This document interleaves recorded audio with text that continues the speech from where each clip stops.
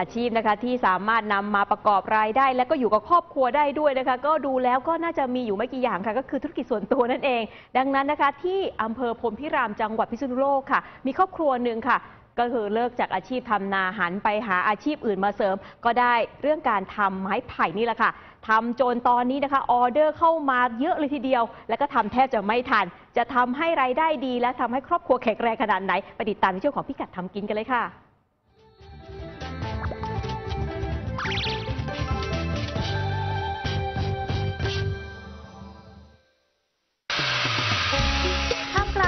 ยไม้ไผ่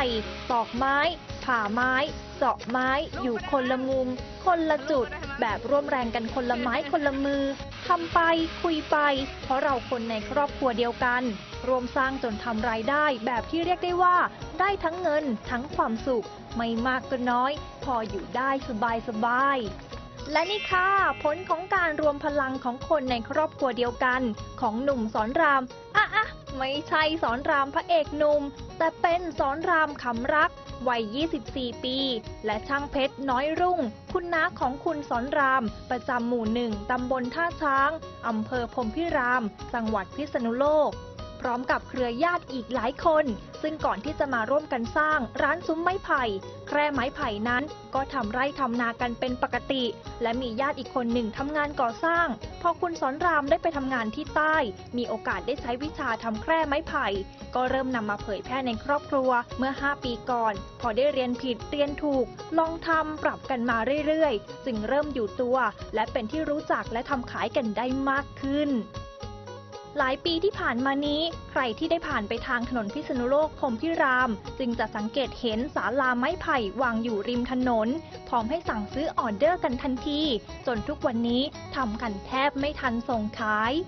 สนนราคาขาย ถ้าศาลาขนาด 2 เมตรคูณ1เมตร 30 ก็ขายหลังละ 2,500 บาท ถ้าให้ไปส่งก็รวม 2,800 บาท อีกขนาดก็คือ 2 เมตรคูณ2 เมตร ราคา 4,800 บาท ที่ไกลสุดก็สั่งตรงมาจากอำเภอสวรรคโลก จังหวัดสุโขทัย หากจะถามว่าช่วงไหนขายดี ก็แน่นอนว่าปีใหม่และสงกรานต์ ซึ่งแคร่ไม้ไผ่จะมีอายุอยู่ได้ประมาณ 4-5 ปี และที่ต้องเปลี่ยนบ่อยก็คือหลังคา เพราะเป็นหญ้าค่ะมาจากทางใต้อะครับ ตอนแรกกันอยู่จังหวัดสตูล แล้วก็ไปได้วิชา ไปคบเพื่อนคบอะไรอยู่ทำอยู่จังที่จังหวัดสตูล ก็กลับมาบ้านก็เลยลองมาเปิด ก็เลยลองมาทำดูแล้วมันได้ก็รับผลตอบรับยังไงบ้างคะ ก็โอเคดีครับ ก็ทุกวันเลยครับ ทุกวัน เป็นแบบเนี่ยเป็นพวกซุ้มนับทุกวันทุกวันได้ส่งออกทุกวัน ค่ะก็เรื่อยๆต่ำสุดต่ำสุดก็หลังเล็กหลัง2เมตร คูณเมตรสามสิบมันมันตกอยู่ราคา ถ้าว่าเมาเองกัน2,500ถ้าว่าให้ไปส่งก็2,800บวกค่าน้ำมันใน300แล้วหลัง สูงสุดสูงสุดนี่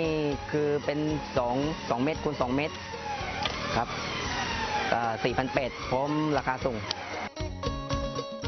ามัคคีชุมนุมช่วยกันทำภายในครอบครัวอย่างนี้ วันหนึ่งจะทำศาลาไม้ไผ่ได้หนึ่งหลังหนึ่งเดือนก็มีลูกค้าสั่งประมาณ 20 หลัง นี่คือความภูมิใจ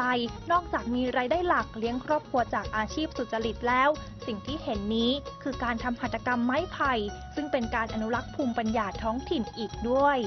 พิกัดทำกินหนาว 26 รายงานค่ะ เห็นแล้วนะคะอิจฉาพี่สอนรามจริง ๆ เลยค่ะ ครอบครัวอยู่พร้อมหน้าแถมสร้างรายได้ได้ดีด้วย